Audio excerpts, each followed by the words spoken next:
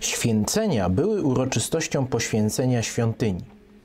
Greckie bowiem słowo kainon oznacza coś nowego. Gdy poświęcano cokolwiek nowego, nazywano to enkainia.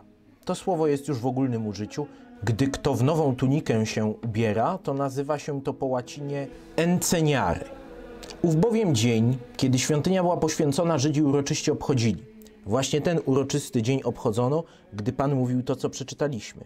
Była zima i przechadzał się Jezus w świątyni w krużganku Salomona. Obstąpili go tedy Żydzi i rzekli mu, dokądże nas trzymać będziesz w niepewności?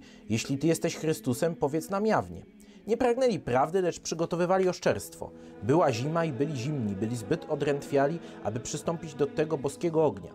Lecz przystąpieniem jest wierzyć. Kto wierzy, przystępuje, a kto zaprzecza, odchodzi. Dusza nie przemieszcza się za pomocą nóg, lecz uczuć. Byli zbyt zimni, aby móc zapłonąć miłością, a gorzeli rządzą szkodzenia. Daleko odeszli, a jednak się tam znaleźli. Nie przystępowali jako wierzący, ale cisnęli się, aby prześladować. Starali się usłyszeć od Pana: Jestem Chrystusem, a być może o Chrystusie myśleli tylko na sposób ludzki. Prorocy zapowiadali bowiem Chrystusa, ale bóstwa Chrystusa ani w pismach proroków, ani w samej Ewangelii nawet i heretycy nie pojmują, o ileż mniej Żydzi, póki zasłona okrywa ich serca.